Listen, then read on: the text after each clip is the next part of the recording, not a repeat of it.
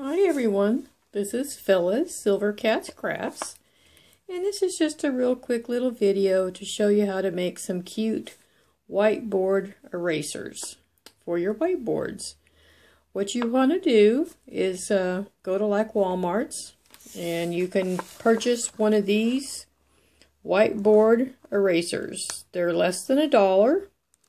They're from the Pencil Grip Incorporated and um, it's just a little square whiteboard eraser that you can use. Of course, it's nothing in here right now because I already used them and I forgot to save one to show you. But this is the package that it comes in. And then what you do is you make yourself, uh, out of your favorite tape, um, a square that's 3 inches by 3 inches. And that gives you enough to wrap around a half an inch on each side. So I made I covered two of them. I used denim with a black trim around the edge.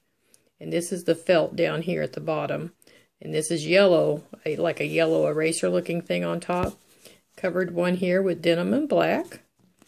And then I took my uh, duct tape, little duckies, and did the second one. And I also put a black trim so it kind of blends in with the black felt right here at the bottom.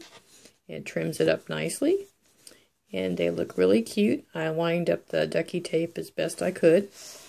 But I thought this was a real cute, simple, easy, uh, decorative um, touch for duct tape on your whiteboard erasers. And I'm taking mine to work and sharing one with my cube mate, and I'm keeping the ducky one.